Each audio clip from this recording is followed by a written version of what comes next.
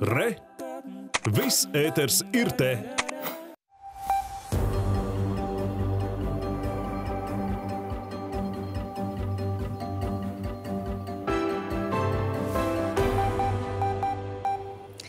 Labrīt! Šorīt, rīta temperatūra, šorīt gaisa temperatūra ir ap plus 15, plus 22 grādiem un nedaudz vēsāks rīts ir vietām tikai valsts austrumos. Puš lēns vējš un daļais mākoņu daudzums.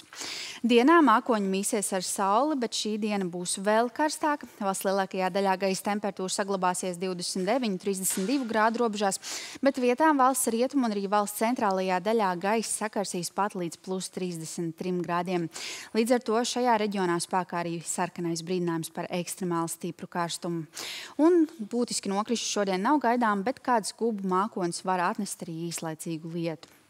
Arī Rīgā gaidāms mainīgs mākoņu daudzums. Dienā gaisa sakarsīs līdz 30-32 grādiem un iespējams, ka arī šajā naktī Rīgā aizvadīsim tropisko nakti. Arī tālākās dienas Latvijā būs karstas, dažvietā tad veidosies lietus mākoņi, kas lokāli atnesīs īslaicīgu lietu, un tāpat lietum dažviet var pievienoties arī kāds pērkona negais.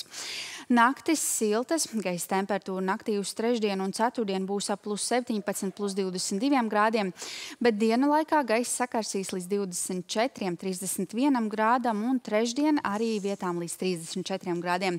Līdz ar to sarkanais brīdinājums attiecas arī